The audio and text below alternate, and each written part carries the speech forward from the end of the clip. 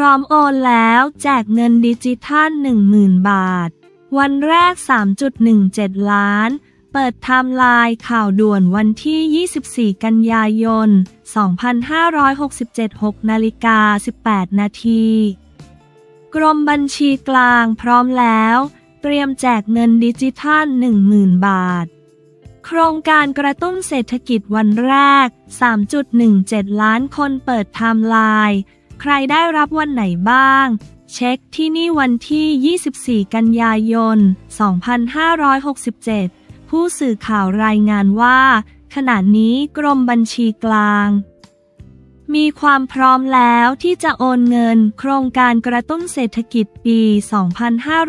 2567ตามที่ได้รับอนุมัติจากที่ประชุมคณะรัฐมนตรี คณะรัฐมนตรี ให้แก่ผู้มีบัตรสวัสดิการแห่งรัฐ และคนพิการจำนวน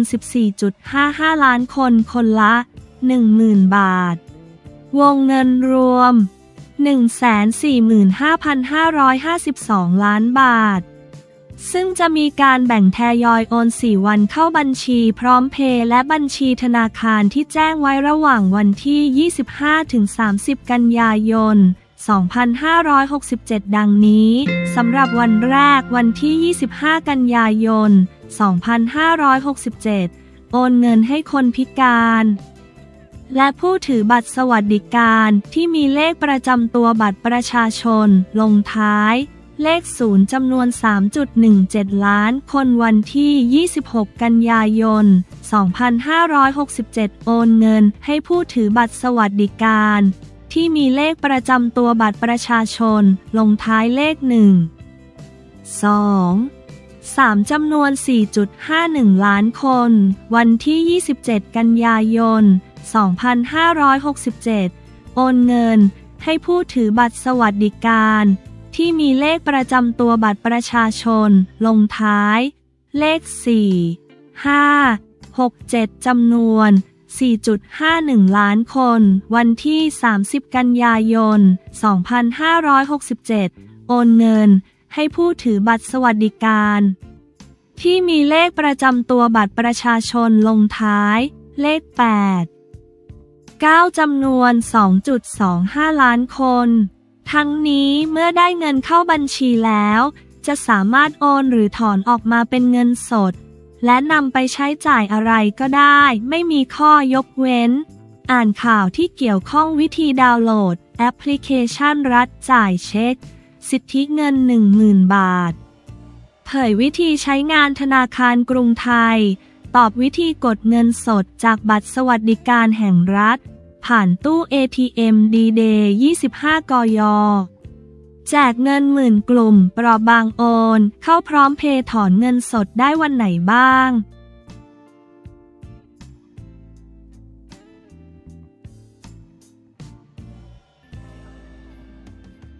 ตีกันอีกแล้วฟุตบอลอินโดนีเซีย แฟนเปอร์ซิปบันดุงจาการ์ตาตะลุมบอล latest กีฬาวันที่ 23 กันยายน 2567 23 นาฬิกา 45 นาทีฟุตบอลอินโดนีเซียยังคงความโหดขั้นสุดในเกมลีกา 1 อินโดนีเซีย คู่ระหว่างเปอร์ซิปบันดุง กับเปอร์ซิจา จาการ์ตาจบลงด้วยเหตุการณ์ตะลุมบอลครั้งมโหฬารอีกแล้ว โดยชัยชนะเกมนี้ของเปอร์ซิปบันดุง 2-0 แฟนบอลเจ้าถิ่น ซึ่งฮึ่งฮึ่งกับแฟนบอลจาการ์ตามาตลอดเกมลงไปสนาม และทำร้ายการ์ดประจำสนาม และเจ้าหน้าที่และแฟนบอลเปอร์ซิยาจาการ์ตา ก่อนหน้านี้เมื่อสองปี ก่อนเคยเกิดเหตุเหตุจลาจลหลังเกมระหว่างอาเรมา FC กับเปอร์เซบายา สุราบายา จนนำมาซึ่งการเสียชีวิตของแฟนบอลอย่างน้อย 129 ราย บาดเจ็บอีกกว่า 200 รายมาแล้ว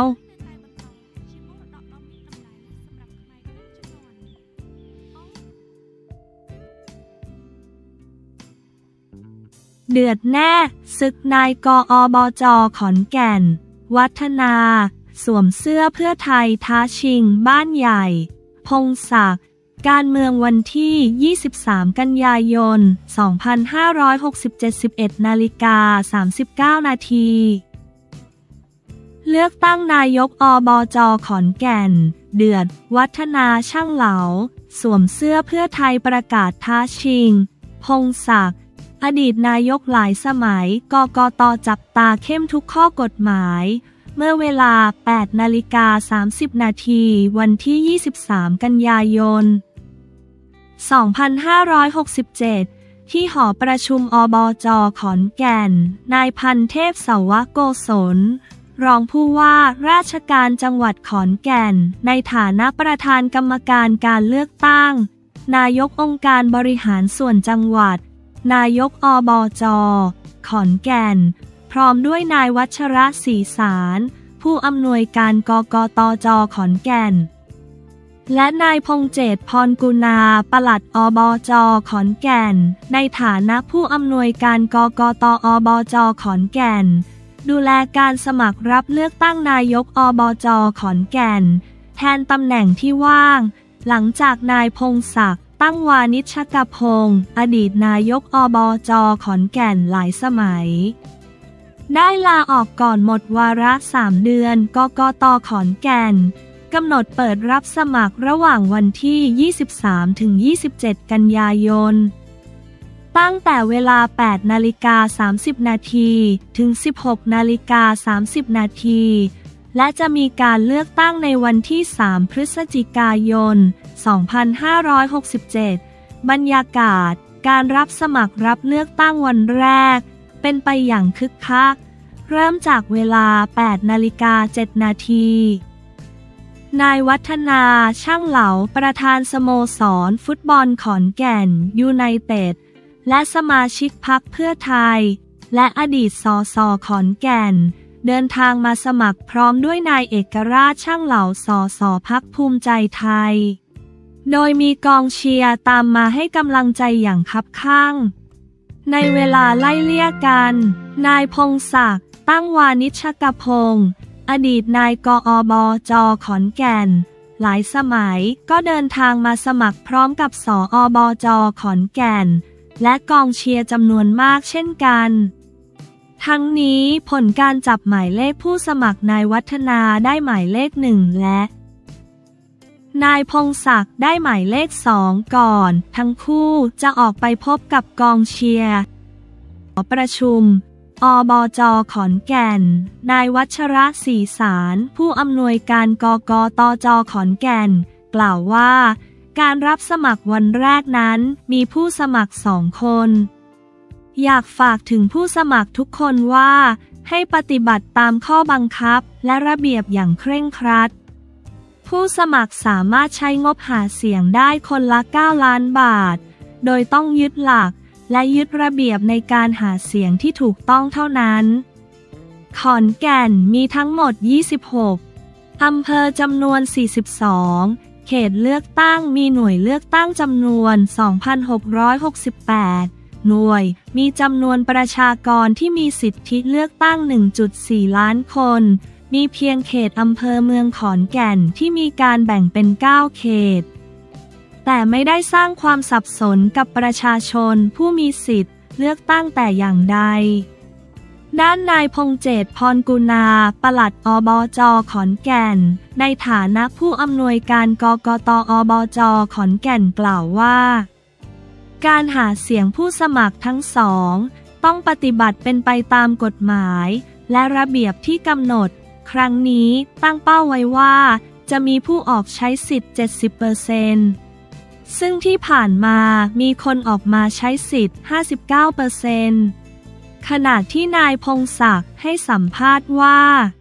จากประสบการณ์การเป็นนายกอบจขอนแก่น 6 สมัยรู้ปัญหาชาวขอนแก่น และแก้ไขปัญหามาตลอด